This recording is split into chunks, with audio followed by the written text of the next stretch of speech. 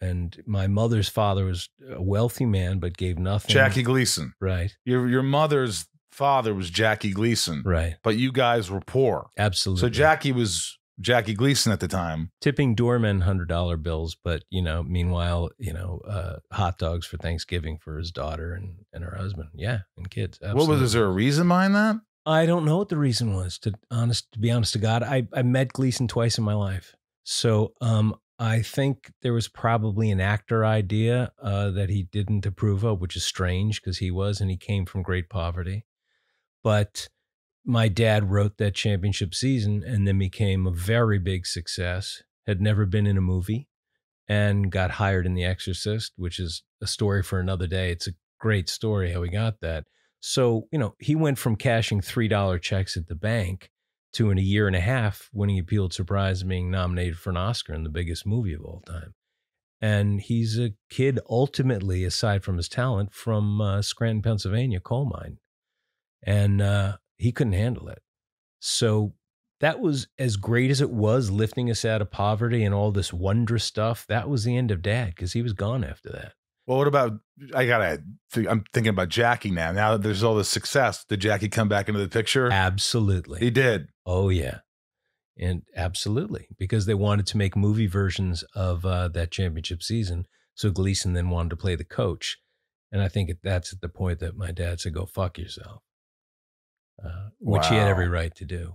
Um, look, it, there's a lot of crazy, you know, Shakespearean fear and vengeance and, and anger in our business, and I can't explain why. uh, As a father, I can't explain why you wouldn't help your child. I, I I don't know, but that was the case. Look, from my dad's standpoint, it made him, you know, delivering welfare checks and driving cabs and being a waiter. It made him um, uh, say, "I have to be a success." And I think I told Kiefer this when we were doing the play that he came home one day. We lived in Flushing, Queens, and I was pushing my brother on a broken down playground in this building we lived in. He said he came up the uh, uh, the subway stairs. He looked at us, and I was pushing my brother, and he said he started to cry. He said, "I'm getting them out of here." And he went up in the elevator and he started writing that championship Wow. season that day. Wow. And so, you know, you d- you you go with what you go with. And what was your relationship with him? Was it pretty? I mean, It was def- oh no, definitely fraught because he was because he was gone. Um, had you know major. uh, We've talked about you know your dad. I don't know, but mine mine had major alcohol issues and drugs. And the truth is, when he had this amazing sort of comet ball of fame and couldn't take it, we lived back east. Then he moved to California. You know, bought a Porsche, sort of lived his James Dean fantasies out, and sort of sadly pissed away this amazing amazing career that he had. Because at the time, championship season was the longest running Broadway show since Streetcar Named Desire. And he was gives one of the penultimate performances in The Exorcist, a 70s performance. Movie doesn't work without him. So Yeah, he can write his own parts in his own ticket. And he just got caught up in the typical uh, uh, Hollywood sort of downturn, the spiral. So from that, you know, as a young man, you look up to your father and you also need him to be there. But in some Oedipal sort of way, when I decided to do what I wanted to do, I just cut that line, man, and wanted to become my own person. And uh, so I never talked about him or my grandfather or any of those things in the early days, ever. How was the relationship towards the end before he um, passed? Did you kind of salvage things a little bit? There was times w- where we were estranged for a while, but towards the end, yes. I mean, for, eh, because you just have to look at for them, as you said, this is who they are.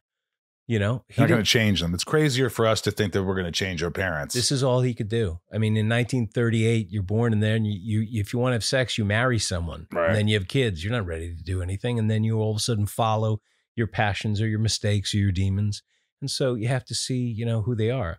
Look, doing the play all those years later not only uh, reignited my uh, uh, uh, relationship with Kiefer, which you know who I love like a brother, but it also in the court battle later on because I did that play and I did it in New York. That's why I got uh, Gus back.